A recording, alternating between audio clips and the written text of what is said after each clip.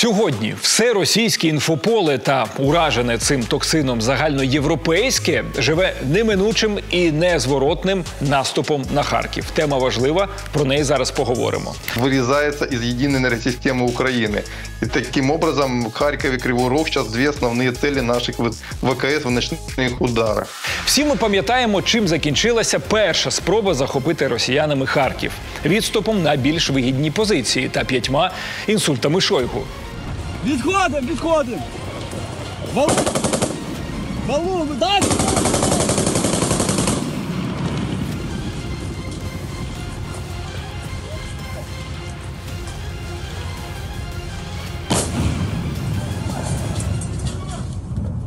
Фрайкор сила!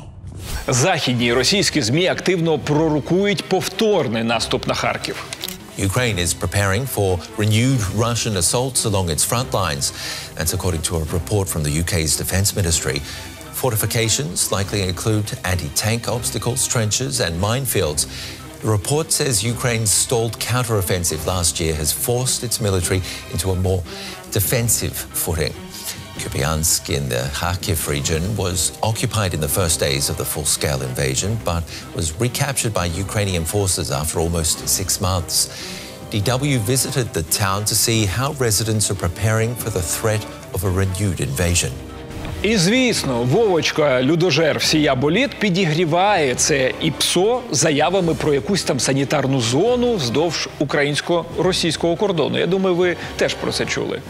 Не исключаю, что, э, имея в виду происходящие сегодня трагические события, мы вынуждены будем в какой-то момент, тогда, когда посчитаем целесообразным, создать определенную санитарную зону на сегодняшних э, э, территориях, подчиненных киевскому режиму.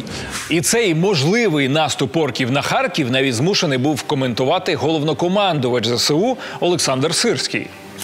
Не треба ігнорувати інформацію про підготовку ворога до наступальних дій на Харківщині.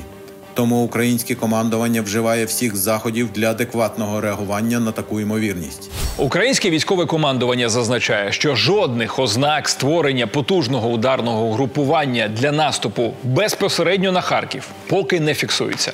А це має бути величеньке угруповання з урахуванням, що маленький 70-тисячний Бахмут, я нагадаю, упродовж 10 місяців штурмувало 80 тисяч орків, втративши понад 20 тисяч І тепер я розумію, що це може не дуже приємне порівняння. Уявіть, скільки треба оцих балалаєчників, аби захопити півтора мільйони Харків, до якого ще треба дійти, взявши перед цим ще й кілька бахмутів.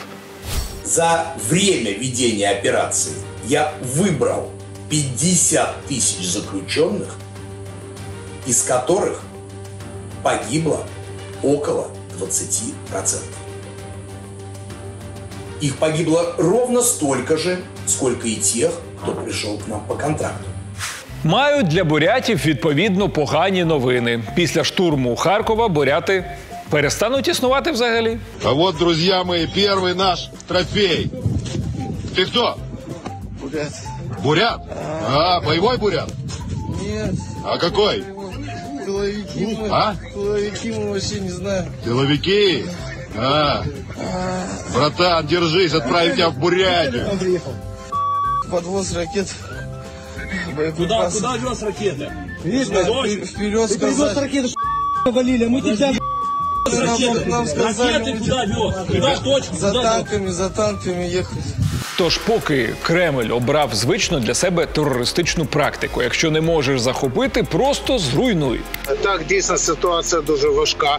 Е, Введені графіки відключення житлових будинків. Е, Практично не працює частина вир- виробничих е, площ, виробництв. Що стосується метрополітену транспорту, то нам вдалося заживити метрополітен. Він працює так. Інтервали потягів приблизно 20 хвилин, е, бо сьогодні вихідні дні. І цей, друзі, дійсно кривавий терор є нічим іншим, як частиною того самого ІПСО, мета якого посіяти паніку в Україні і серед українських союзників. Обстріли Харкова це терор з метою залякування, завдання шкоди економіці України та створення тиску на військово-політичне керівництво.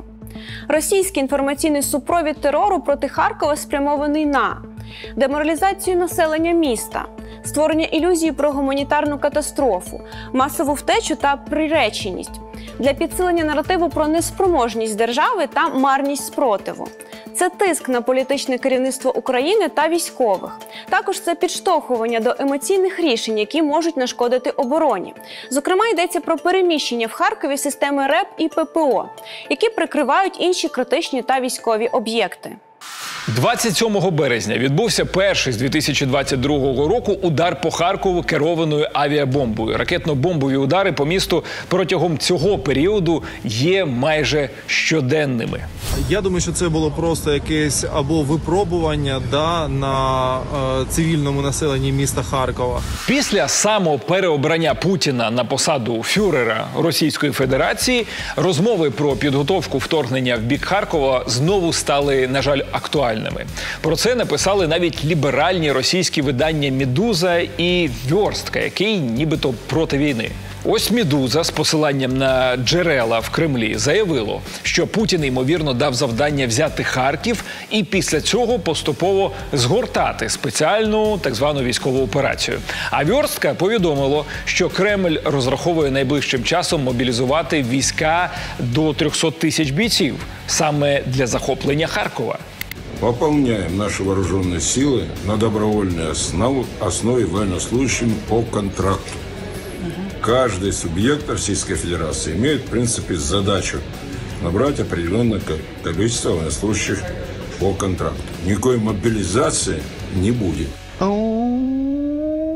Ну, це вже російська класика, коли ліберали відверто підіграють кремлівському режиму і радо просувають його наративи. Не знаю навіщо. Якщо ви знаєте, напишіть в коментарі. После триумфального завершения электорального мероприятия тема возможной мобилизации снова становится актуальной. Вероятность, что государство захочет отправить вас или кого-то из ваших близких на войну без особых шансов вернуться назад живым и невредимым, с каждым днем все больше. Але давайте, друзі, тверезо розберемось, що відбувається насправді. Насправді в окупантів наразі немає стратегічної переваги на харківському напрямку. Загальна мобілізація так і не була оголошена, а прихована мобілізація, яка відбувається, не дає необхідних людських ресурсів для Кремля. Ни при каких условиях никакой мобилизации в мае не будет. І великої концентрації військ для удару поки що не зафіксовано станом на зараз. Україна нікуди не відступає. Ситуація на сході нашої держави, де найбільш гарячі бойові дії, вона стабілізована.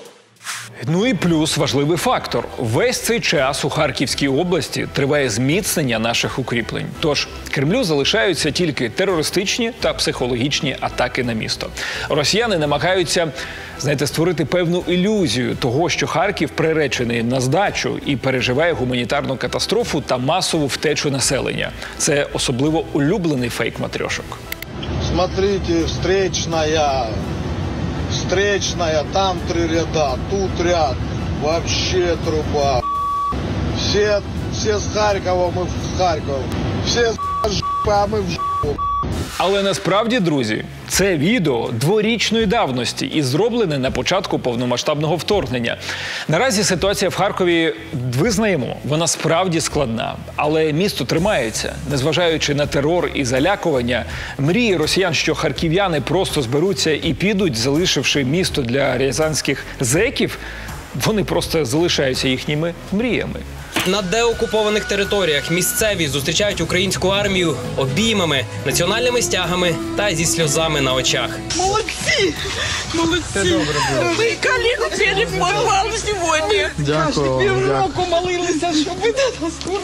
Тож давайте так. Цьому фейку про, мовляв, неминучий наступ на Харків я ставлю 5 гойт із 10. Поки що не схоже на те, що в Росії є сили на штурм мільйонного українського міста. Але своїх людей їм не шкода, це теж правда. Тому легко можуть погнати колись мародерську шоблу на нові пральні машини та підставки для електрочайників. Ми маємо бути до цього готові. Ну що, друзі, почалося. В Москві вигадали, боже, як я цього чекав, нарешті нову українську біологічну зброю. Тільки тримайтеся, будь ласка, міцніше. Виявляється, це українські біодрони. Тобто самонавідна людина, якою керують як просто мавіком, відразу з гуру. І Якщо ви думаєте, що це ляпнув один там якийсь зетнутий придурок, то ні, Е, це зараз хітяра в їхній пропаганді. Это не миф, а вполне реальный способ превращения человека в биодрон, выполняющий задания оператора. И, кстати, создавалось это оружие очень давно. Еще в 50-х годах прошлого века ЦРУ запустила проект МК «Ультра».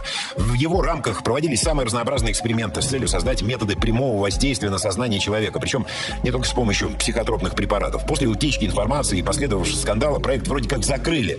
Но почему-то все данные о нем до сих пор засекречены. Бойових комарів та гусей демобілізували, і тепер нова українська біозброя таджики. Е, Ця маячня дуже швидко і легко в'їдається насправді в беззахисні, атрофовані повністю мізки російського натовпу. Тепер кожен пересічний орк може уявити себе Сарою Конор, яка протистоїть е, біокіборгам. И восстали машины из пепла ядерного огня. И пошла война на уничтожение человечества, и шла она десятилетия. Но последнее сражение состоится не в будущем. Оно состоится здесь, в наше время, сегодня ночью. У їхніх соціальних мережах гуляє декілька відверто ідіотських конспірологічних текстів. Головний меседж такий: у Російській Федерації діє агентурна мережа біодронів СБУ. І є навіть дві в них такі популярні підверсії. Перша біодронам вживляють у голову чипи. Вітання Міхалкову. В тело человека вживляется чип, исполняющий роль контролирующего органа на предмет соответствия характеристик ежедневной активности для какой-то криптовалюты. То есть те, кто управляют этими чипами, имеют полную возможность вами руководить. І Я, здається, розумію навіть, які на вигляд ці чіпи. Це така маленька касетка з дідом Панасом. Ось така у нас малята. Версія друга: створення біодронів це спеціальна психологічна обробка. Тож майже все, що відбувається на Росії, можна списати на біодронів. Теракт в Крокусі, підпали військоматів, протести дружин мобілізованих, е, прорив дамби в Орську. Чому би і ні? Хто не знає, це зробили чіповані ондатри, ніяк інакше. двух-трехсантиметровой э, дырочки, э, отверстия э, норки хватило бы, чтобы вода пошла. Сергей Васильевич, вы меня, конечно, дамбу. простите, пожалуйста. То есть мы строим за миллиард Не-не-не, дамбу, подожди. которые грызуны прогрызли. как это вообще возможно? І оскільки Росія це повністю фашистська держава, то будь-яка конспірологія рано чи пізно переростає в расизм. Там спокійно на сторінках ЗМІ можуть обговорювати, що вихідці, наприклад, середньої Азії, взагалі не люди, а всі потенційні біодрони. І як результат масова істерія та полювання на типу братні азійські народи. Вот, например, да, все говорят о диаспорах. Да. А у меня такой простой вопрос. А какие диаспоры и как помогают СВУ? Мета цього фейку про біодрони вона дуже проста: показати, що проти Росії людина не може піти з власної волі, тільки як маріонетка якогось підступного заходу та хитрого гуру. І головне, міф про біодрони це ж продовження заходів з абсолютного розлюднення противника. Біодрон це ж не людина. а Можна з ним робити все, що завгодно. Можна відрізати вухо. Е- або бомбити їхні міста. Це ж біодрони, це не люди, їх не шкода. Ось чим вони займаються. Тож, друзі, цьому фейку я ставлю 10 гойт із 10, бо реальними біодронами наразі є 80% населення Росії. І друзі, наостанок пам'ятайте, перегляд російського телебачення дорівнює падінню з 13-го поверху. Ураження внутрішніх органів вам незворотно гарантоване. Будьте пильними і читайте ресурси Центру стратегічних комунікацій, аби бути стійкими до російської пропаганди. Побачимось.